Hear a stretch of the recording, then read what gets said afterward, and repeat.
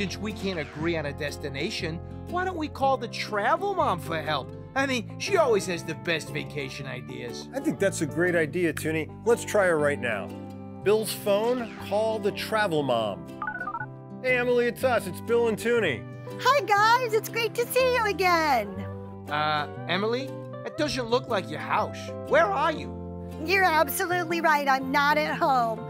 I'm on Icon of the Seas, Royal Caribbean's brand new cruise ship. We're in port at their private island where it's a perfect day at Coco Cay. Oh, wow, nice. Very nice. I hope we're not bothering you. We were just hoping that you could help us get some vacation ideas. I've got some great vacation ideas for you because right now is wave season. And that means it's the best time of the year for savings, deals, and discounts on cruise vacations.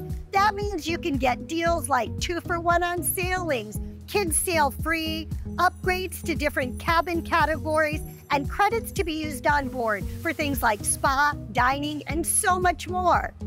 Oh, Emily, I love a good deal. But, I mean, what types of cruises does this apply to? While I'm on Icon of the Seas, you can enjoy savings on so many cruises all across the board. Whether you're looking for a luxury sailing experience, an expedition cruise, maybe you want to try a river cruise, you can take advantage of deals throughout the industry right now. And when do we have to travel by to get these deals?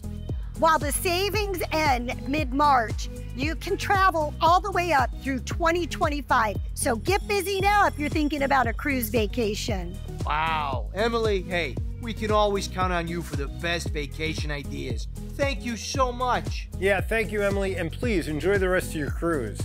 Bye, my friends. Hey, tuners, be sure to check out the travelmom.com for the best travel destinations, hotels, and tips.